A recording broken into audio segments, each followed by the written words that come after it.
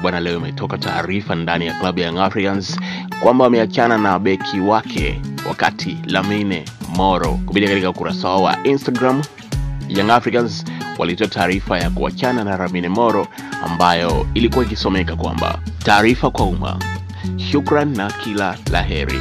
Uongozi wa klabu ya Yanga unatoa shukrani za dhati kwa Lamine Moro kwa utumishi wake ndani ya klabu ya Yanga katika kipindi cha miaka miwili. Lamine Moro ambaye pia amekuwa na odha wetu kwa msimu huu, na kwa pamoja pande zote mbili tumekubaliana kusitisha mkataba wake. Hivyo basi klabu ya Young Africans tunamtakia Lamine Moro kila la heri katika maisha mapya ya mchezo wa soka huko aendako.